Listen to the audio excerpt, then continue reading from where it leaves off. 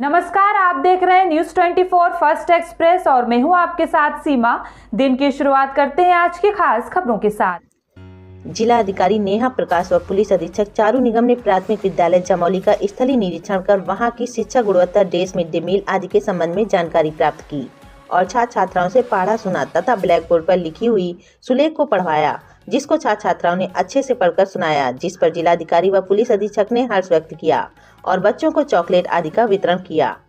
अधिकारियों ने इस अवसर पर अध्यापकों सहित छात्र छात्राओं की उपस्थित पंजिका का अवलोकन किया और निर्देश दिया कि छात्र छात्राओं को नियमानुसार समय से मिड डे मील खिलवाएँ। साथ ही अध्यापकों से संपर्क कर अधिक से अधिक छात्र छात्राओं को विद्यालय भेजने के लिए कहें। और प्रयास करें कि छात्र छात्राएँ निर्धारित ड्रेस में ही नियमित स्कूल आएँ। उन्होंने यह भी निर्देश दिया कि छात्राओं को गुणवत्तापूर्ण शिक्षा दी जाए, जिससे वह आगे बढ़कर अपनी क्षमता प्रदर्शित कर सकें। इस अवसर पर अध्यापक, अध्यापकाएँ सहित बच्चे मौजूद रहे। न्यूज़ 24 फ़र्स्ट एक्सप्रेस से सत्य प्रकाश वाजपेयी की खास रिपोर्ट।